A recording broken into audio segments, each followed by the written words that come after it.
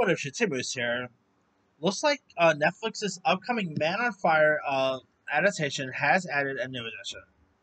This comes from Variety saying that the Man on Fire Netflix series has added former Boardwalk Empire star Bobby Cannavale to the cast. Uh, the series is set to star Yahya Abdul-Mateen II from Aquaman and Candyman fame. Uh, it is based on the uh, A.J. Quinnell novel of the same name, which was also adapted into a 2004 film uh, with Denzel Washington and Dakota Fanning. Uh, Cannavale has been added to the cast um, as a series in a guest star role. Uh, Conniv- Bobby Cannavale will play a character named uh, Paul Ray- uh, Rayburn. Uh, Deadline describes him as an uh, ex Special Forces soldier who uh, possesses a unique ability to read people he is charming, um, nurturing, and uh, protective of those he cares for. Uh, despite his uh, warm, fatherly nature, uh, his year of service in the field um, have also given uh, him an acute awareness of violence and human uh, behavior. Quick-witted, and incredibly um, intelligent, uh, he is likely to have the answers. Um, if not, he will find them.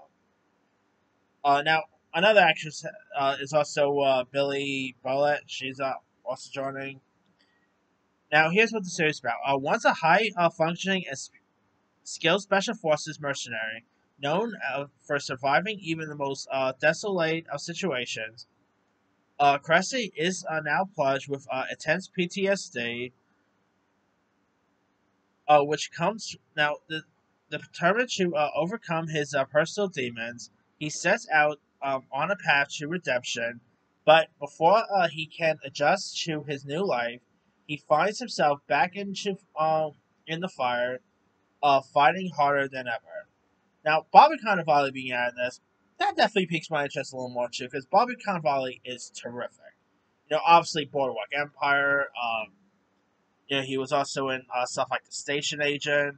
Uh, you know, uh, the other guys he was in. He was in Paul Blart, uh, Danny Collins, Spy, Ant Man, uh, Ant Man and the Wasp. Uh, he was recently in Ezra, which he was terrific in. If you guys have not seen Ezra, it's a really nice little film. He was in The Irishman. Uh, TV front, obviously, uh, you know, Will and Grace, Boardwalk Empire. Uh, he was recently in Bupkis, which was great. The Watcher. I mean, he's been in some really terrific, uh, like not everything he's in tries to go, but like even if he's in something that's not so good, he's actually good in it. That's how good Cannavale is. So, uh, now he's also he also has that new film, um, out, uh, I think yeah, that uh, teen comedy, um, The Outcome, which looks intriguing too. So, always nice when uh, Bobby Cannavale is actually something. Uh, but let me let you guys, what are your thoughts on Bobby Cannavale being the latest to join Man on Fire? You like the latest edition? Are you a fan of Bobby Cannavale? And just make more interested in the Man on Fire series? Comments below. Don't forget to like, subscribe, hit that bell for notification. This is Timmy Sire.